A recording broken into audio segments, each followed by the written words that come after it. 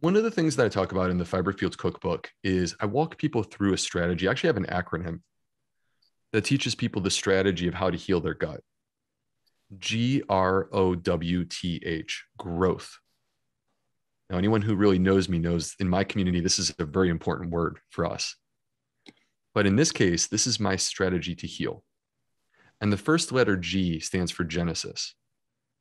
What is the root of your problem? We can't properly treat you until we know what we're even treating. Now, we can talk about the other letters later. They have to do in part with how to understand food and overcome food intolerances. Um, we can talk about those letters if you guys want to later, but it all starts with understanding the root of the problem. And that means that we need to properly diagnose this. Because if you're just, if it's just, look, there's only one form of constipation, so here's the pill, well, then you're never going to understand that there's this other thing that exists pelvic dyssynergia. Yeah. How do we diagnose it? Many times I can almost tell in the clinic talking to the patient because they say, look, my poop is soft, but I still am straining like crazy to have the smallest little thing. All right, that is probably someone with pelvic dyssynergia, but there are some people who are a surprise. You can't just predict it based upon what they say. So we have a test. It's called anorectal manometry. And that um, sounds fun. Yeah. well, I mean, look, I, at the end of the day, if if on the other side of this you actually feel well, yeah, it's still worth it, right? Sign me up. so, um, yeah, so this test would allow you to make the diagnosis. Now, to, to answer the question, like, what do we do? Okay, we can start with the basics. You can start with these basics literally right now. You don't have to do this test if you don't want to. You can start by elevating your feet.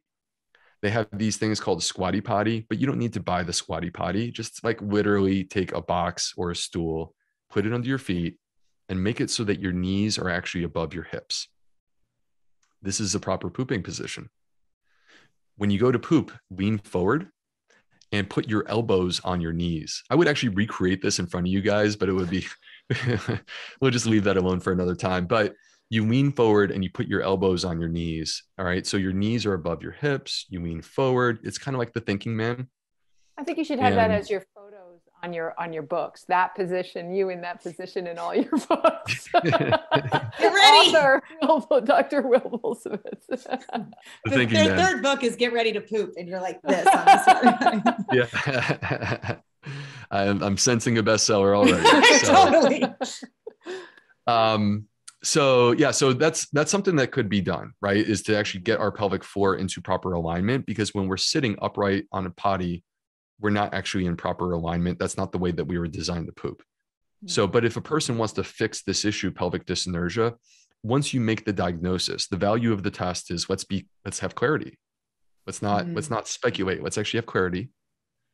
And once you have clarity then you can charge in that direction because you know you're doing what's right and so then what you do is you get um, the person set up with what's called a pelvic therapist.